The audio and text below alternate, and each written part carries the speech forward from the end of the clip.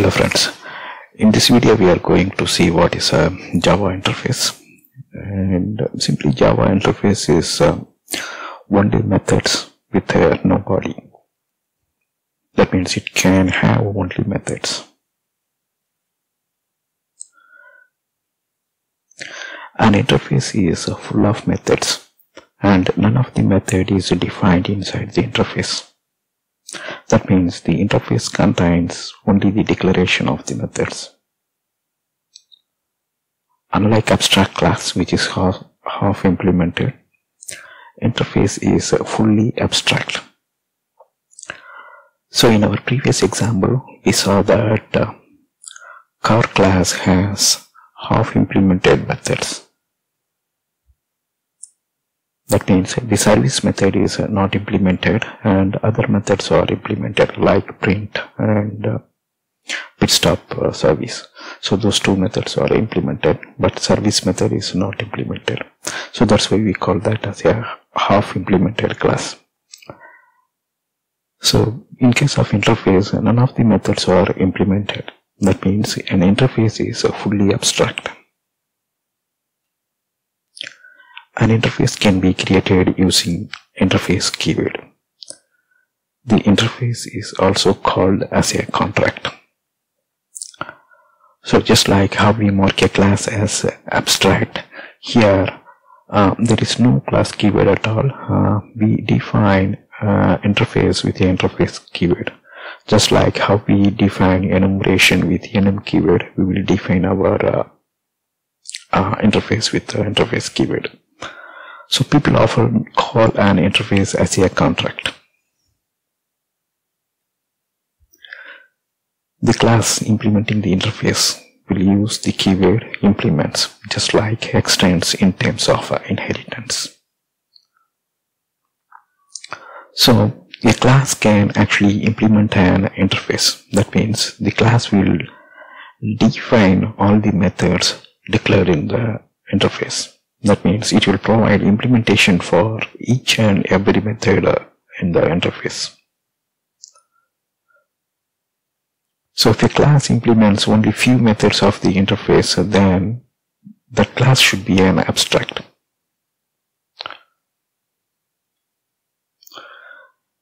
Optionally, an interface can have fields, but that field must be public, static, and final. Means an interface can have constants. When we explored the final in this video series, we saw how to define phi. That means an interface can have a constant like that. One interface can extend from another existing interface. Just like inheritance, class B extends class A and class C extends class B. Here if you see class C is extending class B but B is already extending A. The same way an interface can also extend an existing interface.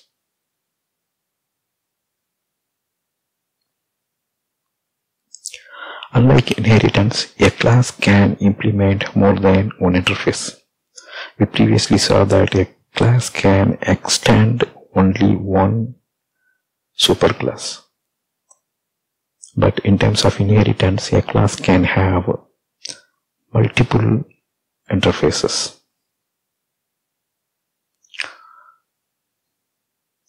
Here is an example for iCircle interface. If you see, the keyword interface marks the iCircle as interface. The scope is public.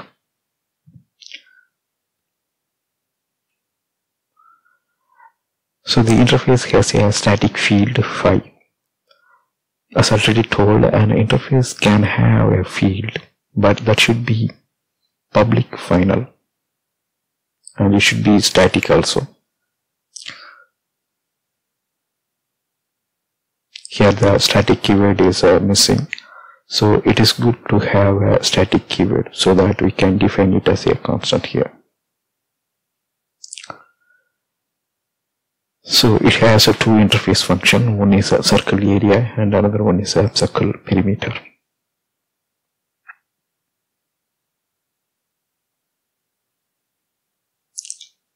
Phi is a supporting field, but the two functions are part of the contract.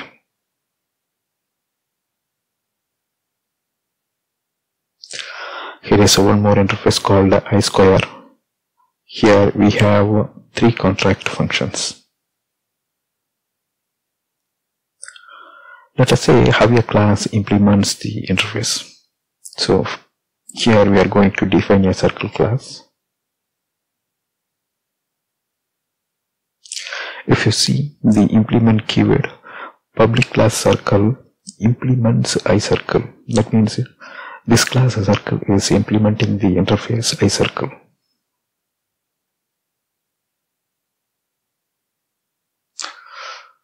Circle signs the iCircle contract. So we can say it in two different ways. We can say the circle is implementing iCircle interface or we can say circle is signing the contract defined by the iCircle. So since it is signing the contract defined by iCircle, it should implement the method exposed by the iCircle. Remember, iCircle have only the declaration, but here we will provide actual implementation or definition of those functions. Circle has only one field and a constructor and the field is radius and there is a constructor to initialize that uh, radius.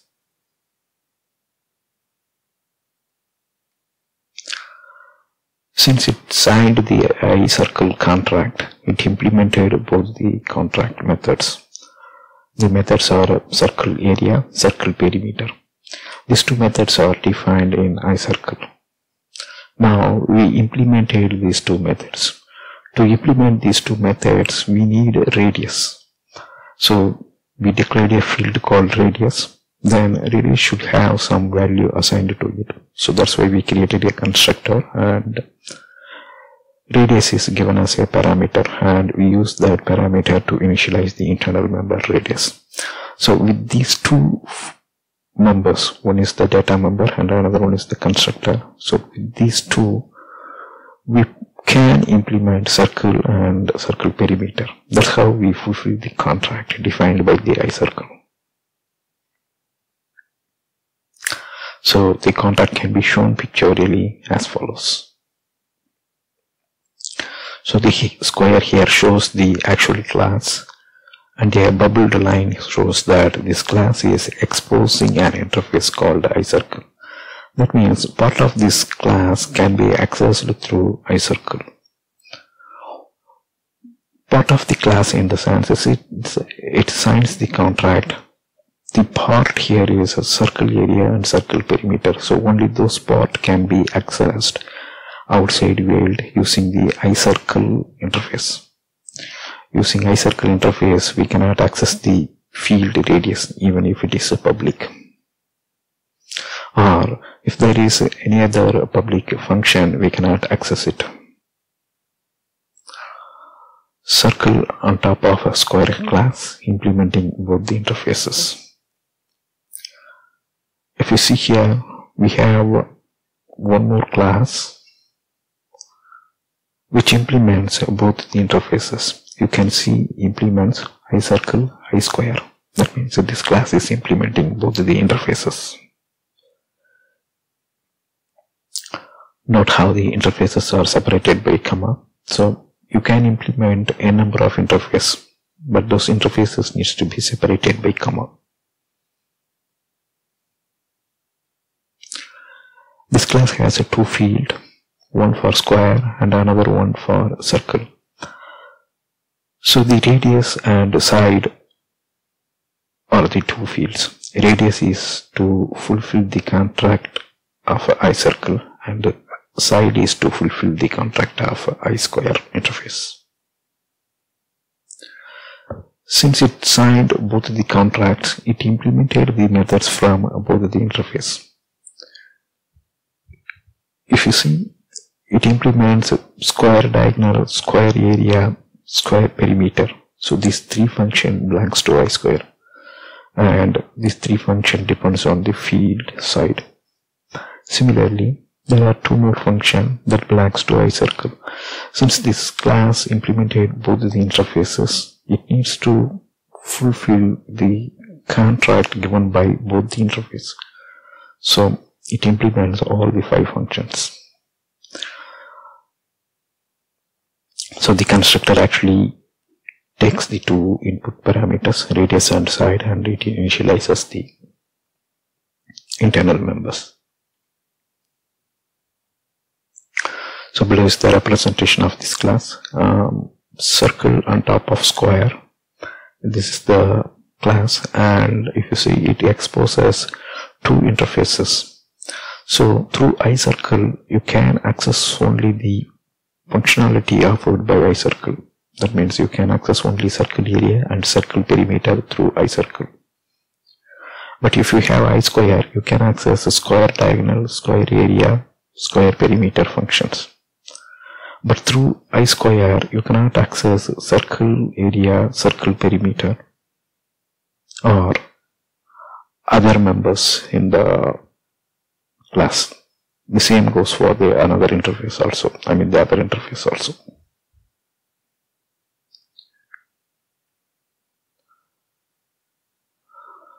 So here if you see first we created a circle object on the right hand side you can see new circle of 10 so first we created a circle object so the circle object is in the heap then interface I circle refers to that heap location. So in the left hand side if you see I circle is the interface and the reference is circle. Since the reference type is I circle, it can access only the functionality defined by the I circle. so the circle implemented those function. Only those two function can be accessed through circle reference.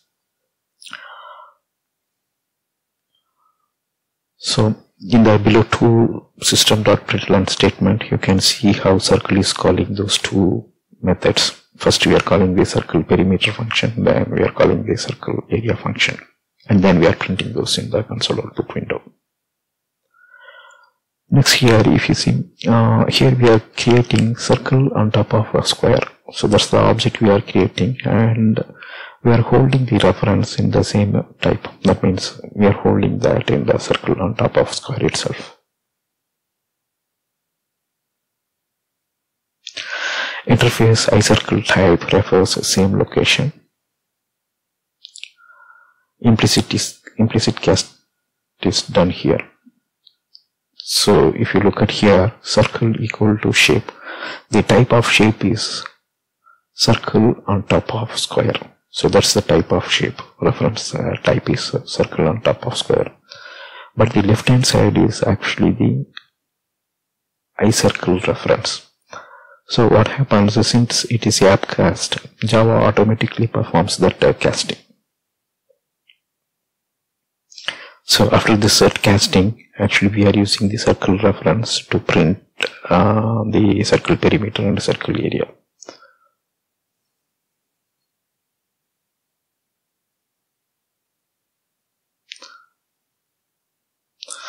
So the circle on top of square implements both the interface. But through this iCircle reference, we can access only the method that belongs to circle. We cannot access method that belongs to iShape or method that is specific to this class and not part of the circle, iCircle. Okay, let's move interface demo let's move to interface demo in Eclipse and we will explore. Okay first we will create a project.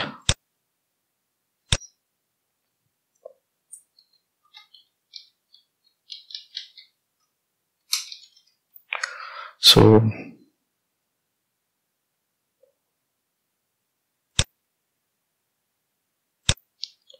so this is our project. Next we will create a class.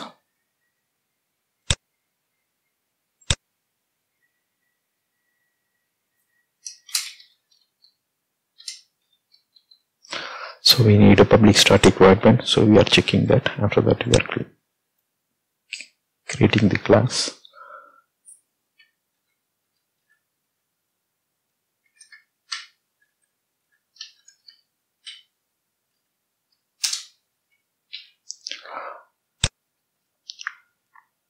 okay. Now we will create our uh, first uh, interface. So our first interface is iCircle. Um, the skeleton will be generated by Java Eclipse. So we will just copy the body and we will keep that in clipboard. So this one we already saw in uh, PowerPoint slide.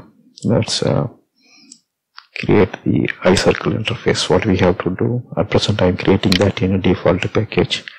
Right click on it then click on interface.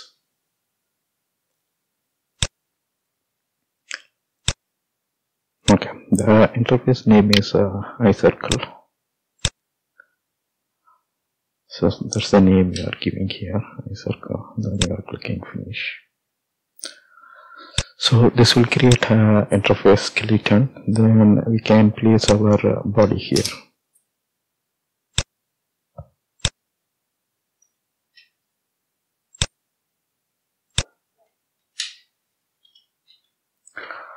So you can see one interface is ready which has uh, two members.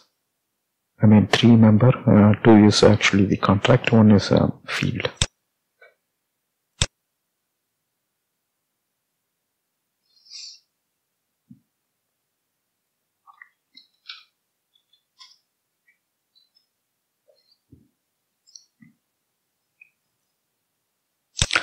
So next we will create the I square interface.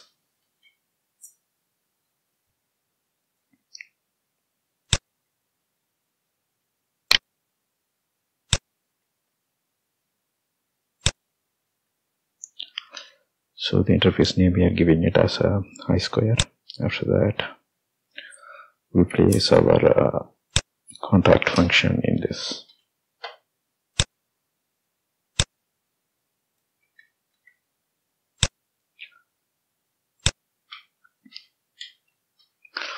So present we have uh, two interface, one is i square and another one is uh, circle.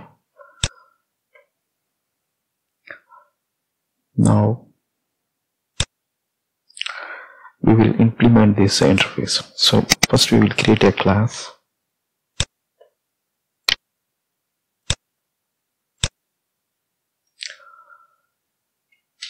So this is our uh, class name, circle and interface is iCircle.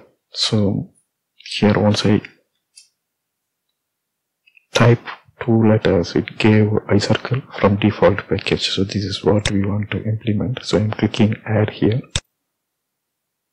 Click OK and the interface box now shows iCircle interface. So the class name what we are creating is a circle and it belongs to default package then the interface it implements is iCircle. So once I click finish,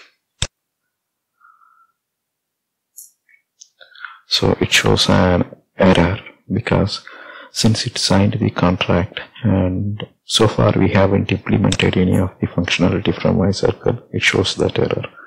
So what we can do, we can click here and choose add unimplemented method. So I'm clicking here.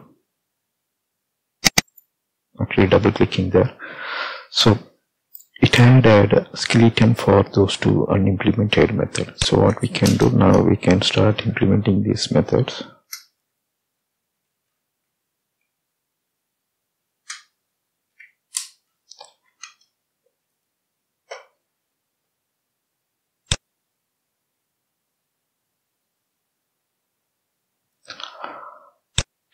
We will put a private field and a constructor.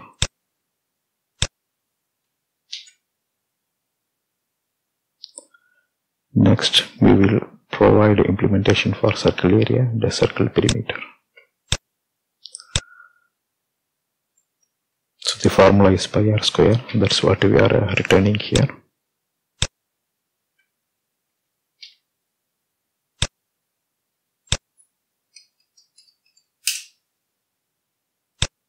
next circle perimeter is 2 pi r. So we are returning that here in the next function. So if you see this class doesn't have any error. We implemented the circle. So it has one uh, private member one constructor. Then these two method belongs to the iCircle contract. So iCircle just defined these two or just declared these two methods. And these two methods are implemented by the circle class. Since it implements iCircle it signs the contract and hence it implemented those two methods here. Now we will implement the other class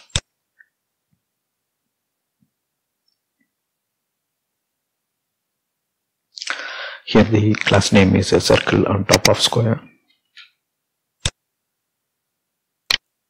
We'll create a new class and the class name is a circle on top of square. This time we are going to implement both the interfaces. So what i'm doing i'm clicking.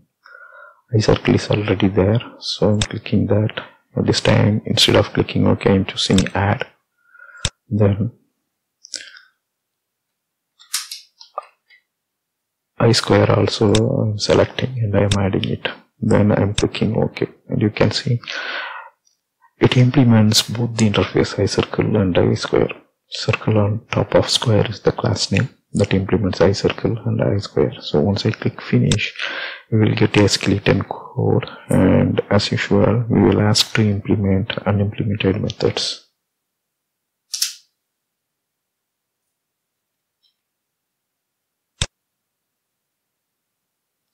add an unimplemented method so if you see please the definition for all five methods so square diagonal square area and square perimeter are from i square interface. So the last two functions, circle area, circle perimeter is from iCircle interface.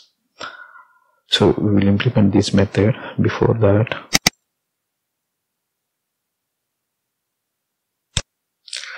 we will add the field and the constructor.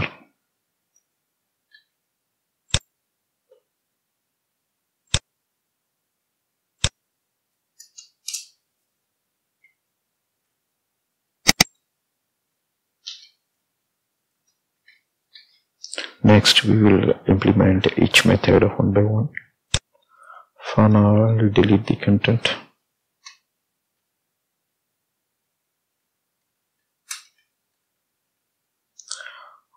We can directly do a copy paste for all this method.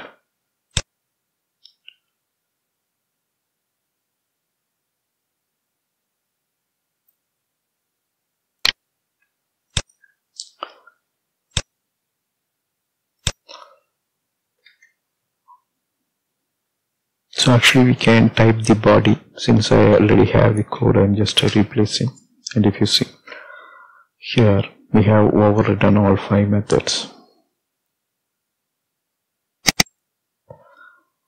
Now we have all the classes ready. Circle on top of square is ready as well as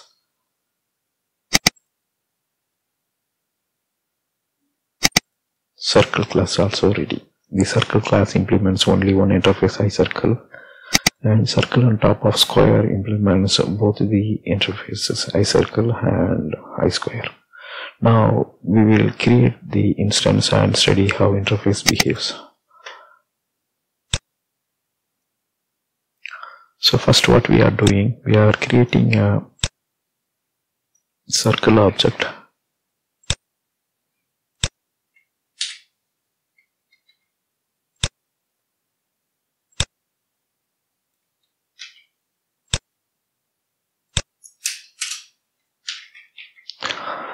So if you see here, first we are creating the circle instance in the heap. Then the heap storage is pointed by a circle reference and the type is interface i circle So now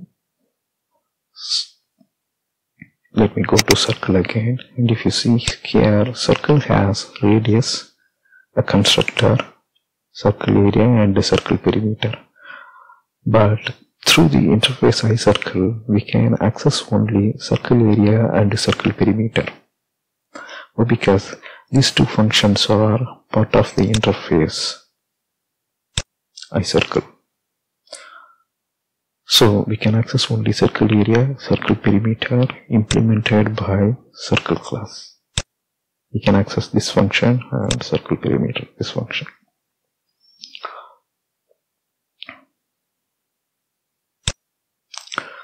So here in the system.out.println you can see that circle perimeter and the circle area functions are called through circle reference and the type of that circle reference is iCircle.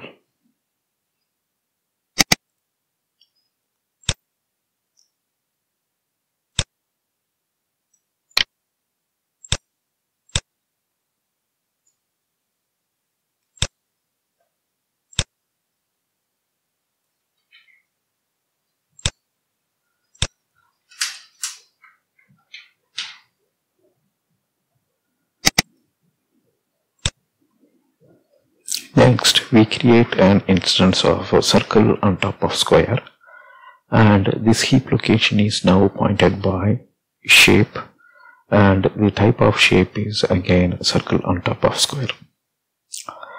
Next what we are doing, we are handing over this shape to circle and the type of circle is iCircle. So we are handing over this shape reference to circle also. So now there are uh, two reference to that uh, heap location. One is a shape that points to this uh, heap location and another one is circle that also points to this uh, same heap location. So here what happens uh, since uh, shape type is circle on top on top of square and circle is top in the hierarchy.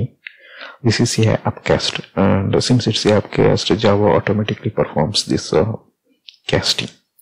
Because we are holding the reference type circle on top of square in circle the type is i circle so it's a upcast. So java performed that upcast for us. Now in the below piece of code after that we are calling circle perimeter and the circle area. So through circle reference we can call only these two members.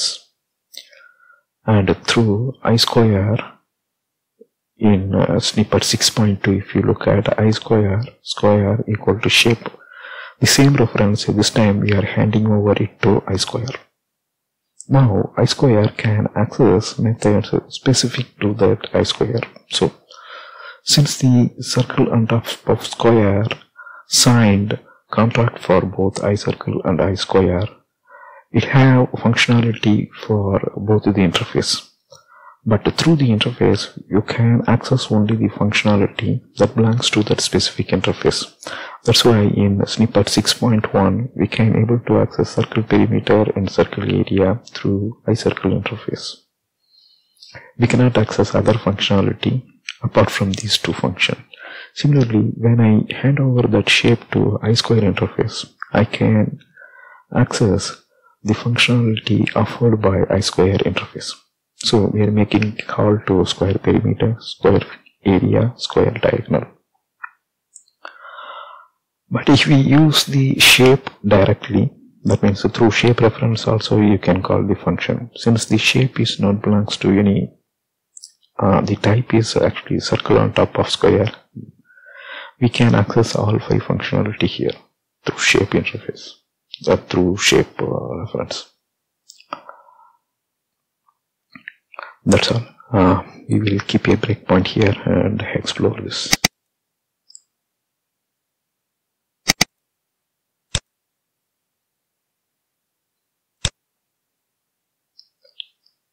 So first we are in uh, iCircle. So this will create instance of iCircle. Then that heap location is pointed by I mean the first we are creating the circle object and the object in heap is circle. Then we are pointing that circle through iCircle interface. Next, through this i circle interface reference circle, we are making call to circle perimeter. So that prints the perimeter of the circle. Then we are calculating the area and printing that. After that, we are creating instant uh, instance of a circle on top of a square. Then we are handing over that reference shape reference to circle. If you see the ID is 51, that means both are pointing to same location. That means this shape as well as circle, both are pointing to the same heap location identified by the ID 51. That means they both are referring the same location. Now we are making call to circle functionality through circle interface. Next, we are pointing the same location ID 51 through I square interface reference square. So this is also pointing to the same location, but this time we can access functionality of a square.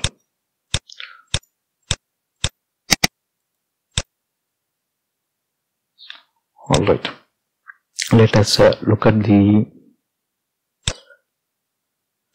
IntelliSense here. And since the type is I circle here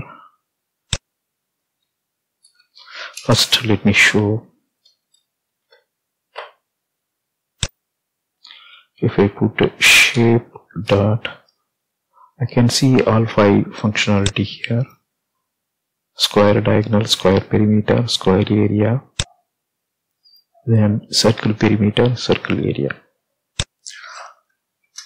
if I use a circle reference, only the function offered by that interface can be seen here.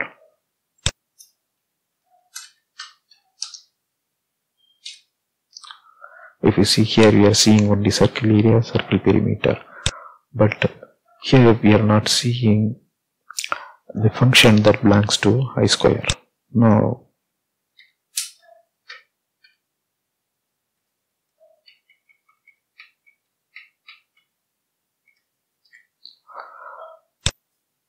if I go to square the IntelliSense shows functionality that belongs to square square area square di diagonal and square perimeter and here we want to here we want to see the functionality offered by iCircle.